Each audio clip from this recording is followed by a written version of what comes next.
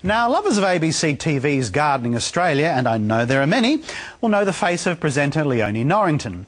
She also happens to be a respected author, and when she's not attending her famous veggie patch, she's busy writing one of her many children's books. Her latest explores the lives of Aboriginal people living on and visiting Darwin beaches, and is about difference, but more importantly, sameness. Uncle Tobias sends the silver lure far out to sea to call the fish in. Sometimes we catch a skinny or a stingray, or flicky prawns in a net.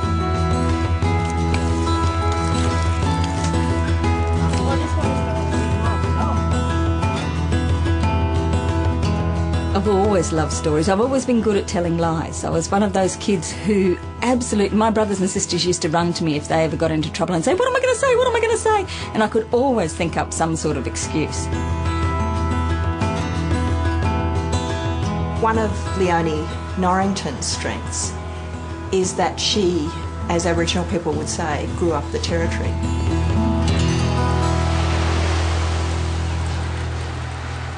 I was born in Darwin, but then we moved down to Barunga Community, which was then called Bamyili. And um, we were there was very very few white people who lived there, and we were a family of seven kids. And so the indigenous people that lived there decided that we needed to be brought up properly because we we were pretty feral. We used to run around in the bush all over the place, and um, and so they gave the responsibility of us to the youngest wife of one of the most important ceremony men that were living there. And so she grew us up. She took us out into the bush and taught us how to find bush tucker, and um, she was wonderful. When the rain stops, we collect pippies and long bums in the sand and find mangrove worms and fruit bats in the park. When you're dealing with issues that are complicated, like racism, or issues like land rights, or things like itinerance, the best way to put forward a story about that sort of thing is through the eyes of a child. Because when you start talking from a child's point of view, you talk with an innocence. You can ask questions and say, well, why? And it doesn't make people's alarm bells ring and say, oh, what are you trying to say? It's more like, yeah, if I was a kid, I would be thinking that.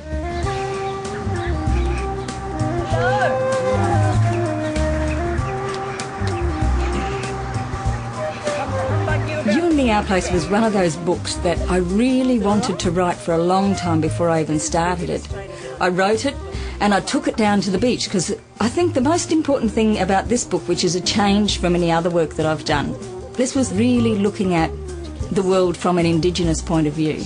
And so I had to acknowledge that. I had to go out and meet with Aboriginal people and say, look, this is what I'm going to do. Do you think it's okay? Is it working? Is this the sort of thing that you think would work? And I can't draw. I'm absolutely hopeless at drawing, but that didn't put me off. I found Dee Huxley and I thought, this is the woman. She can do this book for me. And so I contacted her and she did some roughs. And after the roughs were done, I took them down to the beach. This is where she started to think about characters for the story. Mm. What do you think? Is she a good character? Mm, no. Why? What's Her that? legs too big. Oh, her legs are too big. Yep. Not fat legs like white people. Ah, yes. This old man is thinking about his dream and these kids are playing. You think it looks good? Yeah, The dreaming part looks all right? yeah. And is he cutting it right? There was all this negotiation. And it was with different people because often, you know, somebody would come to town for two weeks and then they'd be gone. So often I'd go down there and have to reintroduce myself to a whole another group of people. Because you would have done that as a kid too. Yeah, Still do? Yeah.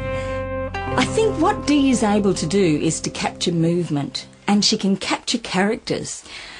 And she also has this wonderful freeness. Her, her lines are, are long and enormous amounts of movement in it.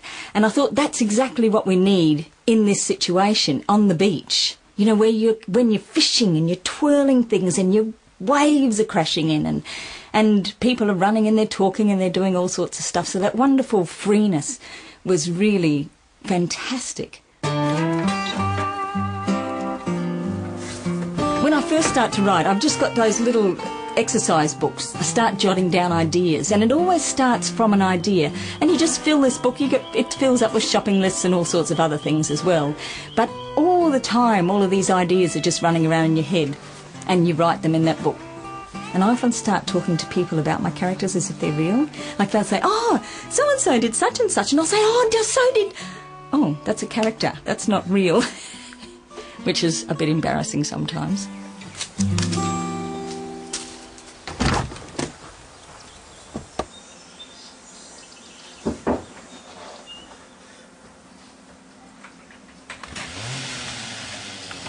It'd be terrible. I'd never get anything done if I had to have quiet. I live in a very noisy house, and um, my husband's shed is just up the back there, so he's screaming away with all sorts of power tools.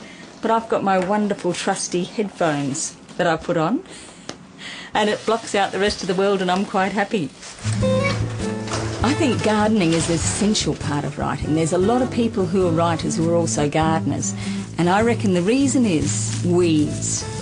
Because when you can't think of what to say next in your book, you go outside and you lean over and you start pulling out weeds, and all the blood rushes to your head and all the thoughts come.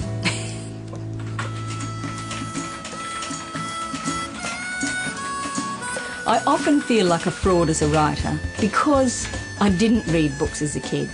Because I'm not a teacher or an academic, or I don't even know a hell of a lot about writing.